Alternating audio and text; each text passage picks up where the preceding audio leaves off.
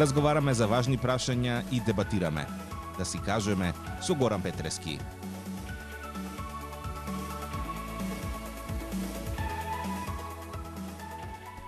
Добро утро, почитувани гледачи и од мене. Се враќаме во утринската програма на Телма во уште едно издание на мојата редовна рубрика Да си кажеме. Утрово, утрово ќе се осврнеме на две актуелни теми, имено како што го брендиравме и го заштитивме четвртокот за екологија, односно за заштита на животната средина. Но за тоа малку подоцна, мој прв гостин ова утро е Владимир Мартиновски, универзитетски професор, проф, есеист, поет, прозаист, преведувач, но и човек кој се занимава со музика, со спорт, со уметност, пишува поезија за деца. Господине Мартиновски, добро, добро утро, добро дојдовте во студиото на Телма. Добро утро, благодарам за поканата, многу се радувам што ве гледам. Како се чувствувате утрово? Одлично, одлично. После емисијата ќе имам часови, така што многу убав ден, многу исполнето утро. Да, убав есенски ден, да. сончев ден пред нас. Да. Непосреден повод за ова ваше гостување е 100 годишнината од раѓањето на Блаже Конески, имено на 19 декември 1921 година во Небрегово е роден основоположникот на современиот македонски литературен јазик. Да, тоа е навистина еден еден голем јубилеј, век со Конески би, би кажале вака, накусо а, повод за голем број чествувања во текот на целата година, нели година на Конески и секако факултетот од кој што јас доаѓам, чиј што патрон е токму Блаже Конески, филолошкиот факултет и оваа година а, чествува и 100 години од неговото раѓање.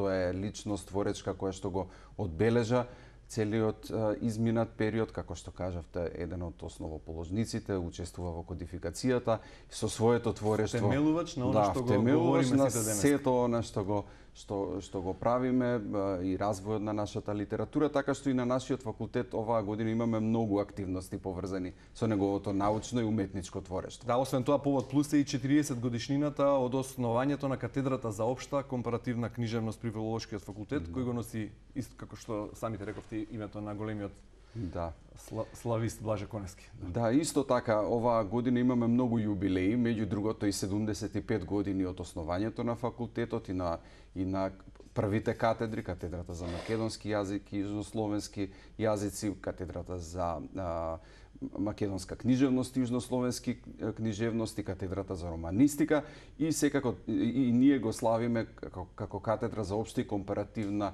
книжевност нашиот јубилеј 40 години од основањето направивме на ретроспектива што е направено во изминатите 4 децении во рамките на дејностите на филолошкиот факултет. Имавме да, еден прекрасен научен собир викендов на 15 и 16 октомври, меѓународен научен собир со 40 реферати, а темата беше предизвиците на компаративната книжевност во 21 век и планираме да објавиме зборник. Исто така факултетот има многу активности во текот на оваа година, значи имаше повеќе научни собири, филолошки читања, имаше собир посветен на Блаже Конески и неговиот однос кон воопшто кон книжевната наука. Студентите се многу активни, тоа е многу битно, ја преведуваат поезијата и воопшто творештвото на Конески на сите јазици кои се изучуваат на филолошкиот факултет. Тоа е исто една прекрасна работа и во декември 13 и 14 декември ќе бидат деновите во кои ќе имаме голем меѓународен собир посветен токму на на темата 100 години од Конески, да. Ке си дозволам да бидам малку индискретен, еве ќе открием за гледачите. Јас и професорот Мартиновски сме генерација. Да. Учевме во далечната 1989 до 1993 заедно во Брос. Во гимназијата да. Јосип Брос. И веројатно вашата љубов кон јазикот е потекнува од таму, тогаш беше културолошка, односно гимназија. Да. Вие си продолживте на катедрата за општа и компаративна да. книжевност, меѓутоа мене љубовта кон литературниот македонски јазик ми ја всади тогашната наша на професорка по македонски јазик Љубица Ристевска, да, која пак беше одушевена да. од делото на Блаже Конески. Секако. Секако. Се сеќаваш на, на, на Секако, Љубица. секако. Споменот ми е многу, многу жив на професорката Љубица Ристова, со која што многу дискутиравме за поезијата, препозна дека мене ме интересира особено така. македонската и воопшто светската литература и, и, и поезија и а, на вистина а, се сеќава многу живо на, на тие разговори со неа. Многу е убаво што е теа споменуваме и неа во ова Да, ние сме генерација, како што реков, со ученици, но причини за разговорот со интелектуалец од ваков калибар има безброј и навистина ми е чест што утрово сум ваш или твој домаќин ќе ќе може и да не се тестираме да, бидејќи да, сме да, да. школски. Секако, секако. Професоре, живееме во време на големи предизвици, време на несигурност и на неизвестност, време за кое хумористите велат дека е тешко да се направи пародија бидејќи реалноста ни е многу искривена. Погледнато од вашиот ракурс, како изгледа ова време што го живее актуелната генерација, а го нарекуваме ново време? Па, мислам дека речи си се, се е кажано со ова, со ова куса, но прецизна диагноза. Да, времето е на вистина многу необично, е, покрај здравствената криза со која што, еве, се уште цело време се надеваме дека таа ќе заврши набргу, но таа очигледно трае, таа е пропратена секако и со една неизвестност и на економски план, една општа неизвестност, а, на вистина многу жртви однесе до сега а, пандемијата. А, се обидуваме сите да го водиме животот онака како што а, сме навикнати, но на вистина има многу многу предизвици во сите во сите можни сфери. Сите професии се ставени пред предизвици, секако и меѓучовечките односи се менуваат, стравот е се уште присутен, нели, дури и се говори и после пандемијата дека веројатно последиците ќе ги чувствуваме. Да, и, и, и пред пандемијата и, и, и покрај оваа девалвација на сите на сите сфери како што спомнавте обштествени, имате ли впечаток дека светот оди во некоја погрешна насока? Не само локално и не само поради пандемијата. Добро, бидејќи рековте дека четвртоците ви се поврзани со со темата екологија, животна средина, секако дека алармите се веќе веќе вклучени. Веројатно ете сме сведоци на, на, на тоа дека човештвото се поинтензивно ги чувствува последиците од насоката на потрошувачкото општество кое што водејќи сметка пред се за профитот ги нарушува, еве беше спомената и книгата пред малку за нашата планета. Ние практично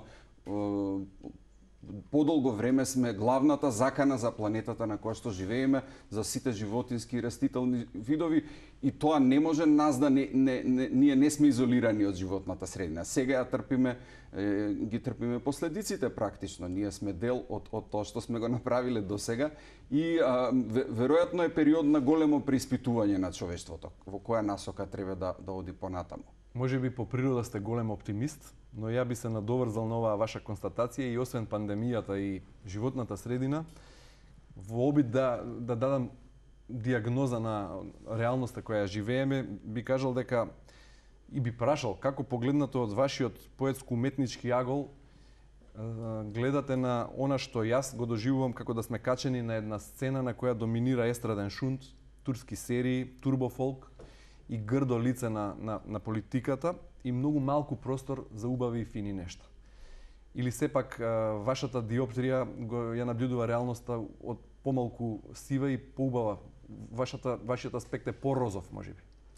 Не е порозов, реално е ова ова што беше кажано, реално е дека на вистина има има многу како убаво убаво кажавте како да е една сцена на која што се случуваат многу работи кои не би сакале да ги да бидат а, а, да речеме дел од нашето секојдневие. А, убаво рековте и во политиката и во и во многу сфери има работи кои мене лично не ми се допаѓаат, особено таа омраза која што се која секојдневно се се храни практично, тоа тоа е нешто што на вистина мене лично многу ми пречи И во такви околности мислам дека е многу битно секој од нас лично, секој да си го да си го побара своето и да го негува своето парче на на слобода и на мир, на на лични избори, на на некаква на градење на оаза која нема да биде скржаво само за себе. Затоа мислам дека уметноста како и во сите тешки времења, така и денеска може да одигра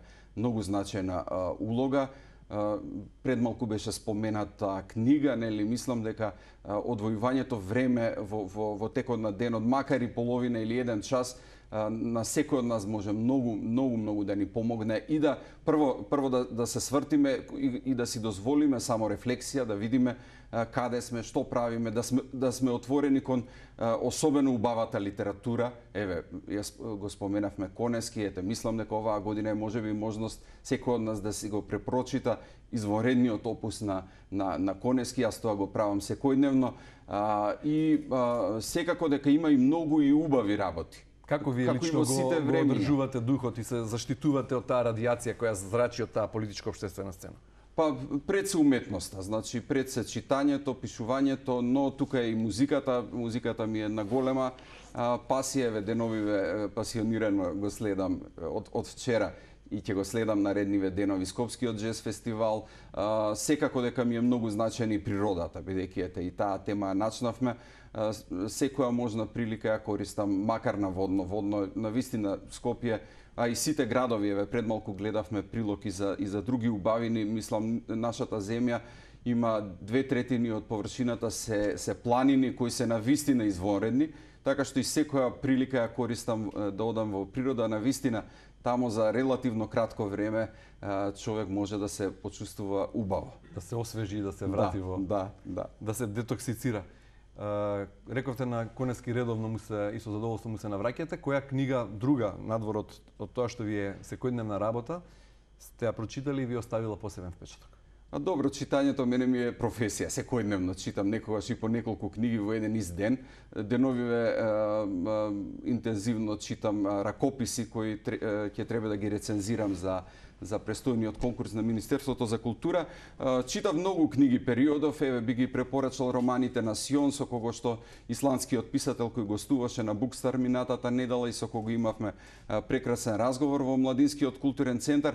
А би сакал еве на вашите гледачи да ви препорачам една од книгите кои кој имав пригода да ја промовирам токму минатата недела, тоа е најновата книга на Влада Урошевиќ, Виола Арсеника една книга која е еден вид енциклопедија за, за поезијата, преполна, составена од 60 есеи и многу возбудливо е начинот на кој што се се поврзани меѓусебно темите на, на овој голем значаен македонски современ писател кој ми беше и професор и ментор и на вистина ми беше огромно задоволство да ја читам и да ја препрочитувам. Ете, тоа е книга која Влада Урошевиќ, како се делото уште една за нашите Виола Арсеника. Виола Арсеника. Да. Ете препорака Белешки за поезијата е под насловот, на вистина топло ја препорачувам. Како го оценувате современото македонско творештво? Имаме ли доволно млади писатели и зошто јас мојот впечаток е дека не создаваме до, доволно нови литературни книжевни дела? се обидувам будно да ја следам македонската книжевна сцена и секако, што рековте, младата книжевна сцена. Би сакал да ви израдувам дека на вистина има многу талентирани и одлични автори во во сите области на творештвото, значи пред се следам поетската сцена, неодамна се одржа и првото издание на на Скопскиот поетски фестивал, се разбира и струшките вечери, имаше јубилејно издание, 60-тото последнава година излегува на вистина десетина одлични поетски книги од помлади автори. Особено би го истакнал една нова тенденција тоа што голем број млади автори почнуваат да пишуваат и литература за деца и тоа одлични изданија, одлични книги. Тука секако дека тоа оди рака под рака и со една нова генерација на илустратори и едните и другите доживуваат и меѓународна репутација, значи еве и се преведуваат книги, наши илустратори, особено во регионот се исто така многу активни. Мислам дека имаме во сферата на уметноста имаме право да се надеваме на на убаво. Оваа ваша оценка, оптимистичка прилично, не одговара со една ваша сонета од минатогодишното издание 101 сонета од една чудна пролет, имено ќе ми дозволите куст цитат. Таму велите со години неотворени, нечитани, пеплосани, од полиците соборени, ничкосани, мемлосани, по кутии заборавени, во визби потопени, во депоа замандалени, по гаражи истопорени, хартијата се не ќе трпи веќе, достани од писатели кои не се и читатели. Има ли да. и такви писатели многу кои не читаат, а пишуваат Па, видете, сонетот што го прочитавте од книгата 101 сонет од една чудна пролет, точно е, таа книга настана во тој период кога прв пат се затворивме дома, едно сосема ново да а, искуство. Ако сакате, а, а, може да откриам дека таа песна има и автокритичка една. И Јас во тој период отворив а, а, кутии на, со книги кои одамна сум ги читал и сватив дека би сакал многу повеќе да читам отколку да пишувам во тој период, иако парадоксално пишував многу, нели, напишав цела книга а, сонети, меѓутоа многу повеќе читав реално. А, секако пишувањето и читањето се неразделни. Практично теоретичарите велат дека ние кога читаме практично како да да пишуваме. Ние читателот е еден вид соучесник. Да, ова што тоа е сонет со со еден вид, нели, со еден вид поента во завршна во завршната строфа. Јас не би не би влегувал во во толкување на собствената песна, но а, а, секако дека е невозможно, можеби ете тоа е една една од дека е невозможно да се да се пишува без да се Да чита, се не. пишува квалитетно барем. Секако, да бидете секако интересен на за, тоа, за читателската тоа публика. И, да, да. Таа да. книга беше промовирана мината точно пред една година, на крајот Да, на октомври да, 2020-та. М, Годи, оваа година, пред неколку година имате друг повод за за промоција. Имено станавте амбасадор на Вавилон. Наку со што тоа значи, па би сакал да се навратам уште малку на на она што е непосреден повод Да. Маке, Блаже Конески и македонскиот литературен јазик. Да, Вавилон е една прекрасна награда и навистина ми е укажана огромна чест. Значи од 2013 година, секоја година се одржува конкурс за млади преведувачи. Организиран е, од Europe House или од мисијата на Европската унија во нашата земја и е прекрасна прилика за лансирање на нови млади преведувачи, книжевни преведувачи. Станува збор за конкурс за преведувачи до на може да бидат учесници до 26 години. Најчесто се тоа студенти кои студираат филолошки науки, но не, но отворене и секако и за и за средношколци. Убавината е што тие треба да детектираат автори кои имаат изданија од последните три години и да ги преведат на некој од 24-те од 24-те оригиналите да бидат на јазиците кои што се говорат во Европската унија, но и да ги преведат на македонски и на сите други јазици кои се говорат во во нашата земја, така што е еден еден прекрасен еден прекрасен конкурс кој е веќе отворен, а на до 20 односно до 4 април наредната година ќе има работилници и очекуваме на вистина убав одзив. Честитки за наградата секоја чест. Сега би сакал да се навратам на она кој е непосреден повод за вашето гостување, Блаже Конески, 100 годишнина од неговото раѓање. Имате ли чувство дека многу универзитетски професори, ваши колеги, потоа лекари, политичари, мои колеги новинари, голем број јавни личности користат сленг, зборуваат на дијалект, на некој начин го нагрдуваат и го го го, го расипуваат нашиот убав литературен македонски јазик. Дали тоа на долг рок го доведува и во опасност постоењето на нашиот јазик? Видете, богатството на секој јазик, меѓу другото, го сочинуваат и диалектите Тоа е секако општо познато. А, Постоењето на диалектите е неоспорно и, и убаво е така да продолжи. Меѓутоа, кога, кога станува збор за, за јавната сфера, за јавната комуникација, образованието, еве, медиумите, тука на вистина а, може да се да се упатат многу замерки како се користи стандардниот македонски јазик. И тука на вистина треба во таа сфера на вистина има многу многу големо поле за за работа. А, сленговите се исто така составен дел од секојдневната комуникација со наши пријатели, со блиски луѓе ние намерно некогаш користиме сленг за да ја покажеме блискоста со нив. Значи, ние во текот на денот комуницираме во различни регистри и убаво е што е така. И секако може би сферата која најмногу може ако ако веќе зборуваме за некакво загрозување на македонскиот јазик, секако е од, исклучително значење токму негувањето на еден на еден а, и тука тука пред се улогата има образованието, тоа се прави од од од од контактот со првата книга. А, книгата треба да биде многу поприсутна, мислам, во, во, во нашите домови, во нашите раце. Секако дека тешко дека телефоните ќе ги оставиме така лесно, но барем дел од денот, ако можеме да се одвоиме тоа, веќе го кажав, мислам дека тоа на долг рок секако ќе даде ќе даде резултати. Особено ако ги читаме врвните остварувања и од македонската литература, но и од преводната литература. И тоа е еден многу значаен сектор. Еве во еден период кога македонскиот а, јазик е загрозен, односно се соочува со предизвици од политичко-историски карактер, вие како универзитетски професор баш по книжевност и литература и како еден од поклониците на делото на, на Блаже Конески и како ученик на Љубица Ристова, која ја спомнавме. Да. Како вам ви звучи в ушите кога политичарите, оние кои се најповикани да го да го чуваат јазикот и кои се удираат во гради дека некој друг ни го ни го одзема, зборуваат нелитературно при јавните настапи? Зборувам генерално. Да, не е убаво. Тоа тоа секако дека не е убаво од повеќе од повеќе причини, како што рековте. Тие тие што треба да се грижат за за јазикот и да дадат потпора. Јас секогаш што во, во секој јавен настап, настап го велам дека нашите политичари од која и да се ориентација треба многу повеќе да размислуваат за долгорочна, многу поголема поддршка на образованието, науката и културата. Тоа е тоа е нешто што што од, од, од голем број причини, знам дека немаме време да ви ги наведувам сите, но, но на вистина тоа е нешто што е од исклучително значење а, и, и од тука нели практично на, на, на тој план на вистина има има многу што да се да се направи, а, вклучувајќи ги медиумите.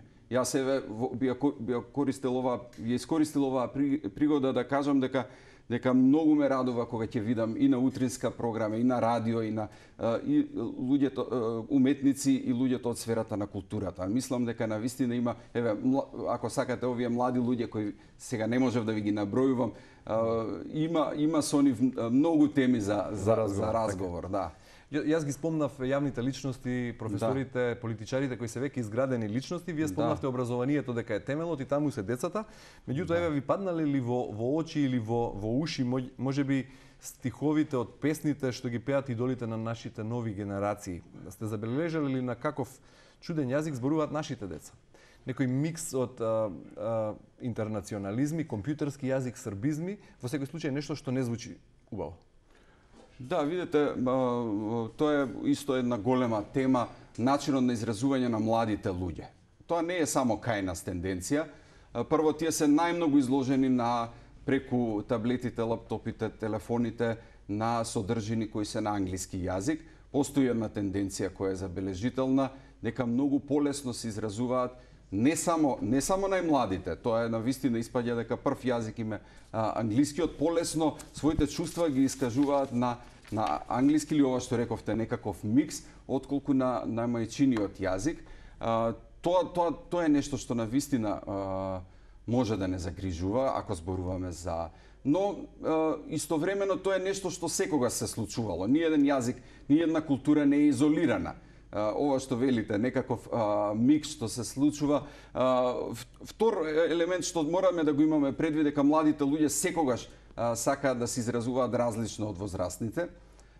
На една конференција еден колега кажа дека секој обид да се направи речник на жаргонизми на пубертетли, на на адолесценти веднаш е застарен, бидејќи веќе следната генерација сака да се изразува, можеби да направи дури нели наопаку да се зборува, да се зборува поинаку, нели тоа е период на нивното изградување како личности А, и тука би сакал исто да, да, да дадам и, и позитивни тонови. Меѓу младите луѓе секојдневно среќавам изворени творечки личности со големи капацитети. Еве, веднаш после ова ќе ги слушам текстовите што колегите студенти ги пишувале по еден предмет и на вистина сум љубопитен и, и, и сакам да верувам дека во тие нови млади генерации има има голем потенцијал кој може би подобро ќе направи од од нашиве генерации или или конкретно од, од нашата генерација. Значи да. во оваа смисла позитивни оценки, позитивни е, предвидувања, на добар пат сме, македонскиот јазик има иднина. Има и простор за загриженост, да не да не да не отидеме во ова што рековте на почетокот Розе. Има сериозни причини за загриженост, но има и има и простор сепак и има за и потенцијал. Да, да. Марта ти благодарам за овие убави зборови, на крај да. повторно на ти индискретно. Да. Честитки те поздравувам. Време е да да ја најавам да. мојата следна гостинка. Да.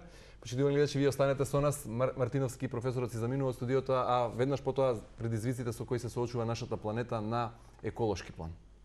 Благодарам за поканата.